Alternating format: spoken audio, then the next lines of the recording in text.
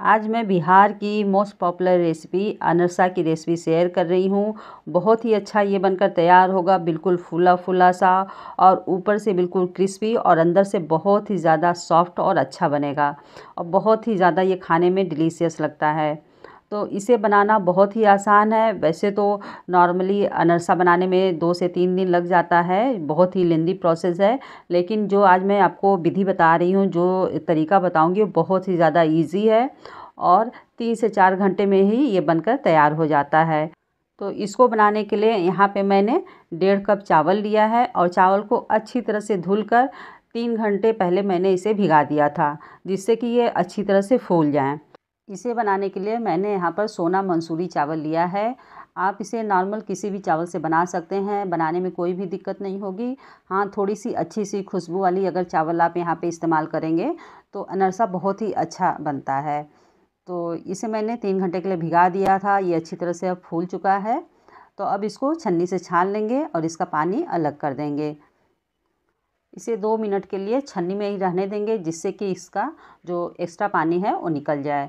और दो मिनट के बाद इसको एक कॉटन के कपड़े पे फैला देंगे पंखे के नीचे एक से डेढ़ घंटे के लिए, जिससे कि ये अच्छी तरह से सूख जाए। तो ऊपर की परत इसकी सूख जानी चाहिए और अंदर से ये नम रहना चाहिए। मतलब मॉइस्चर इसमें बना रहना चाहिए, तभी अनर से अच्छे बनते हैं। तो इसे एक घंटे के लिए मैंने पंखे के नीचे रख दिया है। तो ये देखिए, एक घंटे के बाद ऊपर से ये अच्छी तरह से सूख चुका है। हाथों में आप देख सकते हैं कि चिपक नहीं रहा है। और अंदर से बिल्कुल इसमें नमी बनी हुई है। तो ऐसा ही हमें अनरसा बनाने के लिए चावल चाहिए। अब इसको मिक्सी के जार में डाल देंगे और इसे पीस लेंगे। तो इसे बहुत ज़्यादा मतलब फाइन नहीं पीसना है। और इसे मतलब समझिए कि जैसा सूजी होता है नॉर्मली, उससे थोड़ा सा बारीक इसको पीसना है। और बिल्कुल बारीक आटे जैसा नहीं पीसना है। सूजी और आटे के बीच का जो टेक्सचर होता है ना, बिल्कुल वैसा हमें रखना है पीस कर तो उससे अनरसे बहुत ही अच्छे बनते हैं। तो आ, इसे मैंने पीस लिया है उसे साइड में रख देंगे। अब एक कढ़ाई लेंगे गैस को ऑन कर देंगे और एक कप इसमें डाल देंगे चीनी और साथ में डाल देंगे एक कप पानी और इसका शुगर सिरप बनाकर तैयार करेंगे। तो ये जो शुगर सिरप हम अनरसे के लिए बना रहे हैं इसको एक तार की चाशनी जैसा हमें बनाना है। तो पाँच से छः मिनट में ये बनकर तैयार हो जाता है। तो ये देखिए, एक तारीख बनने लगा है अब इसमें। अब इसमें क्या करेंगे कि जो चावल मैंने पीस कर रखा है, उसे आधा मैंने अभी डाल दिया है और उसे अच्छी तरह से मिक्स करेंगे। सारा मैंने इकट्ठा नहीं डाला है थोड़ा थोड़ा करके मिलाएँगे तो ये अच्छी तरह से मिक्स हो जाएगा। अब दोबारा मैं इसमें डाल दे रही हूँ चावल का आटा और अच्छी तरह से मिक्स करेंगे। तो ये देखिए, ये अच्छी तरह से मिक्स हो चुका है। ये अभी थोड़ा सा पतला लग रहा है आटे जैसा बिल्कुल आटे का डो नहीं लग रहा है, लेकिन जैसे जैसे ये ठंडा होगा, वैसे वैसे ये गाढ़ा होता जाएगा, थिक होता जाएगा।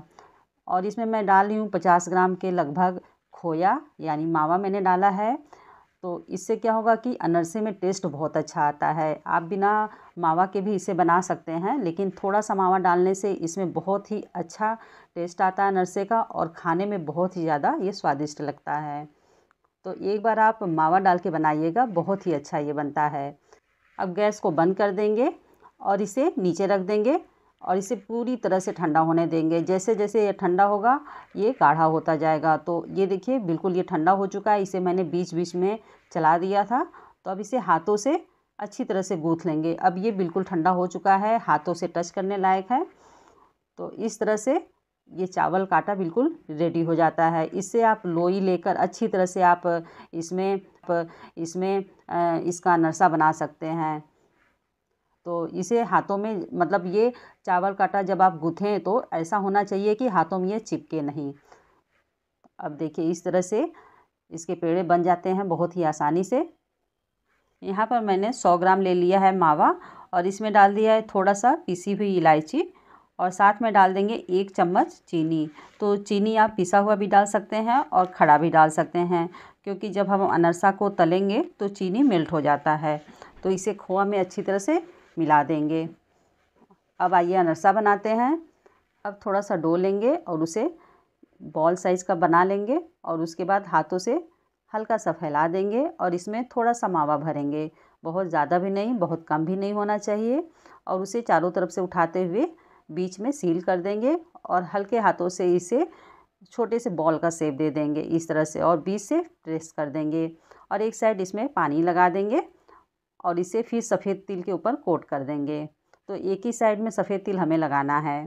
तो अगर आपको मावा स्टफ्ड करके नहीं बनाना है तो आप सिंपल जो चावल के आटे का डो है उसको भी बिल्कुल इसी तरह से आप एक लोई लेकर हल्के हाथों से प्रेस करके तिल लगाकर इसको फ्राई कर सकते हैं। और बिना मावा के भी ये बन सकता है। केवल आप चाशनी में चावल का आटा डालिए और उसका एक डो बनाकर तैयार करिए और लोई इसका बनाइए पेड़े जैसा और हल, फिर हल्का सा प्रेस करते हुए इसे तिल लगाकर फ्राई कर लें।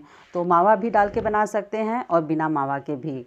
दोनों तरीके से अनरसा बन सकता है। पर थोड़ा सा मावा अगर आप इसमें डाल के बनाएँगे तो बहुत ही ज़्यादा ये डिलीशियस बनकर तैयार होता है।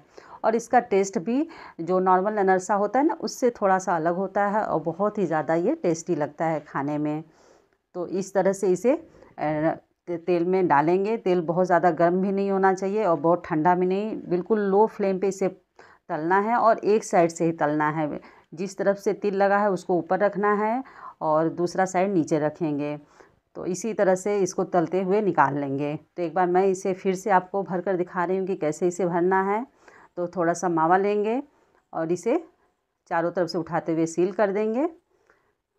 इस तरह से और फिर इसे हल्के हाथों से प्रेस करके दबा देंगे और थोड़ा सा पानी लगाएँगे और एक साइड अच्छी तरह से सफ़ेद तिल लगा देंगे। इस तरह से। तो अब इसे तेल में डाल देते हैं। जब तक ये फ्राई होता है, तब तक आइए बिना स्टफिंग वाला भी थोड़े से अनर से बनाकर आपको दिखा देती हूँ। तो थोड़ा सा डो मैंने हाथों में लिया है, उसको थोड़ा सा राउंड शेप दिया है। बहुत ही छोटी साइज़ का मैंने यहाँ पे ये बनाया क्योंकि इसे तलने में थोड़ा सा समय लगता है और धीमी आँच पे इसे अच्छी तरह से तलना होता है। तो ये देखिए, चारों तरफ़ से मैंने इस पर सफ़ेद तिल लगा दिया और उसे भी तेल में फ्राई होने के लिए डाल दिया। और ये छोटी साइज़ का मैंने बनाया है, बिल्कुल, और एक साइड से इस पर अच्छी तरह से तिल लगा दिया है। तो ये देखिए ये स्टफिंग वाले अनरसे बिल्कुल मैंने तल कर निकाल लिए हैं और ये बिना स्टफिंग वाले अनरसे को तल रही हूँ। तो ये जब फूल जाता है, ये एक ही साइड से आपको तलना है, लेकिन ये अच्छी तरह से फूल कर थोड़े थोड़े से फट से जाते हैं और ये बहुत ही अच्छे बनते हैं। तो ये देखिए, ये अनरसे बनकर बिल्कुल तैयार हैं, बहुत ही ज़्यादा ये टेस्टी डिलीशियस और ऊपर से क्रिस्पी अंदर से बिल्कुल सॉफ्ट ये है। तो एक अनरसा मैं आपको तोड़ कर दिखाती हूँ। तो आप देख सकते हैं कि अंदर कितना ज़्यादा इसमें बिल्कुल खोआ और चीनी मेल्ट हो चुका है तो बहुत ही अच्छा सा टेक्सचर आ रहा है। ऊपर से क्रिस्पी, अंदर से बिल्कुल सॉफ्ट।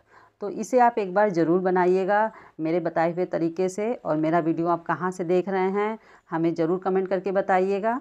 ये बिना मावा वाले हैं तो ये भी अंदर तक अच्छी तरह से पक चुका है। तो आप इसे ज़रूर एक बार बनाइएगा और हमें बताइएगा कि ये रेसिपी आपको कैसी लगी है और ये अनर से बनकर आपके कैसे तैयार हुए हैं। तो फिर मिलते हैं एक नए वीडियो और नए रेसिपी के साथ। Take care and bye.